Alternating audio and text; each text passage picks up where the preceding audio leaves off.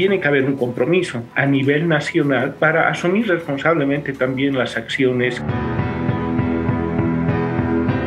lo que se ha presentado, tenemos que decir que por un lado sigue siendo insuficiente. Conferencia de las Naciones Unidas sobre el Cambio Climático 2021, al margen de los compromisos globales, plantea también compromisos e iniciativas propias de los países participantes.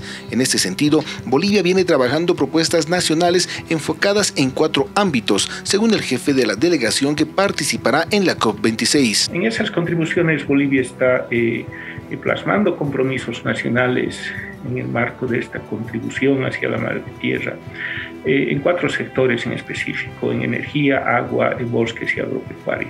Bolivia puntualmente es uno de los 10 países más vulnerables en el planeta a los efectos del cambio climático. Esto quiere decir a los incendios, al desabastecimiento de agua, a las sequías, a las fallas agrícolas. Los compromisos que asumirá nuestro país en este encuentro internacional están enfocados en cuatro factores que a continuación pasamos a analizar. Bosques, una problemática que plantea soluciones estructurales, según los especialistas. El tema de bosques es fundamental, como decía, porque es uno de los mayores emisores a nivel nacional de, eh, de carbono. En esta nueva contribución, Bolivia está incorporando nuevos elementos como el de los incendios forestales está eh, incorporando elementos eh, que tienen que ver eh, también con avanzar en una trayectoria consistente para reducir la deforestación legal en el país. Por ejemplo, en cuestión de bosques, lo que se dice es vamos a reducir la deforestación ilegal en un 20% con recursos nacionales propios.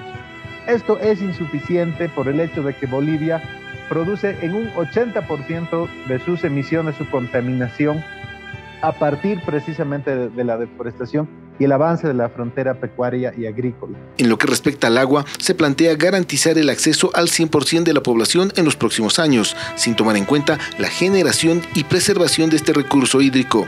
Eh, es un tema que ya eh, trasciende cualquier proceso de adaptación al cambio climático y tenemos que tomar medidas eh, urgentes porque de esto depende la provisión de agua para nuestras ciudades en el futuro. En el tema de agua se propone hacer una cobertura al 100%, al 100 ya de la población nacional de agua potable, lo que es importante, pero pero no solo podemos, no solo tenemos que prometer el llegar con agua potable a todo el mundo, sino además necesitamos eh, tener seguridad de que vamos a tener las reservas de agua suficientes. Finalmente, en los temas referidos a energías alternativas y agricultura familiar sostenible, hace falta coordinar políticas adecuadas para encontrar planteamientos estructurales a estas problemáticas. En cuanto a energía, eh, hay cambios muy significativos, interesantes en, en la propuesta nacional que tenemos que valorarlo. Hay, por ejemplo, un avance importante de, eh, las, de las fuentes renovables, e incluso alternativas también con temas solares,